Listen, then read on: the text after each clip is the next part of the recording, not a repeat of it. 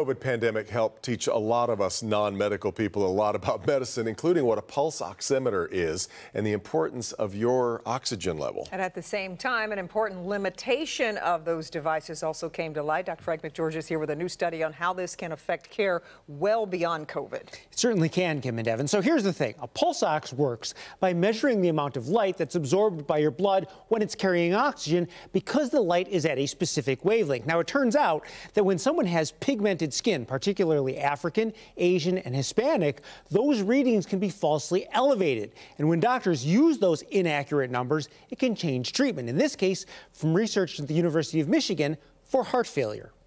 So these inaccuracies could result in the use of medications that could be potentially harmful in black patients with heart failure, or could preclude these patients from getting advanced treatment options like heart transplants and heart pumps, and might be one explanation for why we already know black patients are less likely to receive these advanced treatment options. The university's research caught the attention of the US FDA, which has met to discuss approaches to improve methods to evaluate the performance of pulse oximeters. The use of pulse oximeters is ubiquitous in healthcare, from the outpatient setting to patients admitted in the hospital, and it not only impacts patients with heart failure, but patients with other disease states such as lung disease.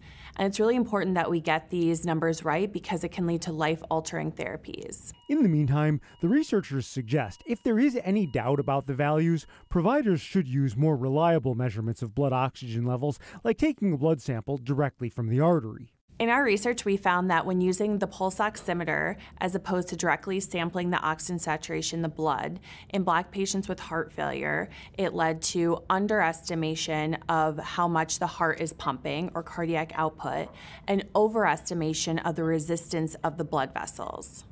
Now, there is ongoing research to develop a pulse oximeter that gives more accurate readings regardless of how pigmented a person's skin is.